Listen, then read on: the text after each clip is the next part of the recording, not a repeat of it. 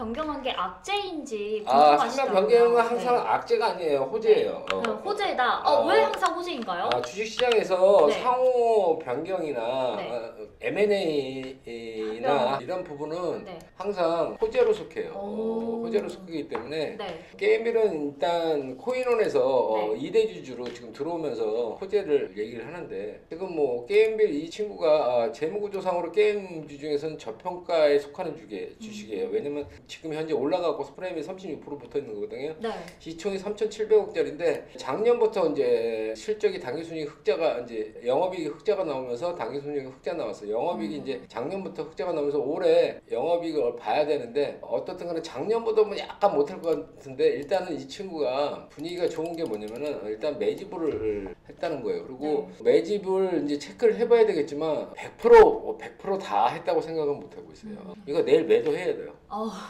게임빌 내일 매도. 네. 얼마에 들어갔어 이거? 지주사 전환사 어, 전환 제, 제외 뭐야? 전환제는 뭐야? 전환사채가 나왔다는 거예요. 뭐요?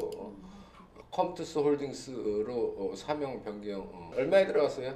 들어간 가격이요? 얼마예요? 5만 2천 원이라고 5만 하시네요. 2천 원이요? 네. 그럼 내일 팔아요. 일단 상호 변경 이슈 이런 얘기가 나오면 호재인데 꼭 네. 호재도요. 상단에서 호재면은 악재예요. 하단에서 호재는 네. 호재고 네. 상단에서 어, 호재는 네. 악재다. 어, 일단은 얘가 들어올린 모습이 네. 주식을 매집하기 위해서 들어올리는 모습이에요. 아직까지 다 못 모았어요. 네. 왜냐면은 꼭대기에서 너무 많이 빠졌어요. 얘가 음, 어, 어, 많이. 그러네요. 네. 자 과거에 19만 5천 원짜리에서 네. 1만 3천 원까지 10분의 1 토막냈단 그러네요. 말이에요. 그래갖고 지금 여기서 매집을 좀 어, 장시간에 걸쳐서 하는 모습이 보이는데 완벽하게 이 물량을 여기 있는 물량을 이쪽에 있는 물량 이쪽에 물량을 다 소화를 아직 못한 부분이 있어요. 그러니까 어, 내일 일단 익절을 하시고 네. 어, 익절하시고 이 밑에서 버리지 말고 이 종목을 관심 있게 둬야 돼요. 다시 체크를 어디서 하냐 내려오거든. 내가 파란색 선 친대요. 네. 25,000원에서 33,000원 사이에 타이밍을 잡아야 돼.